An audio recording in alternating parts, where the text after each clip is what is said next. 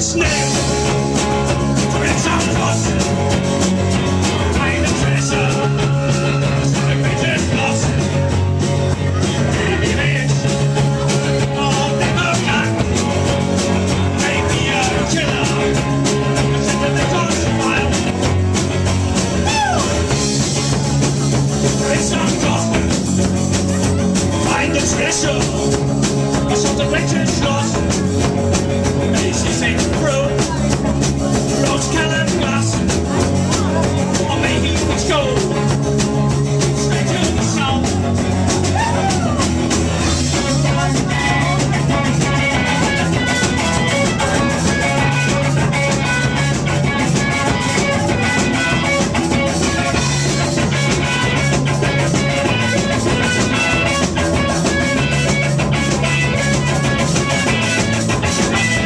finish it.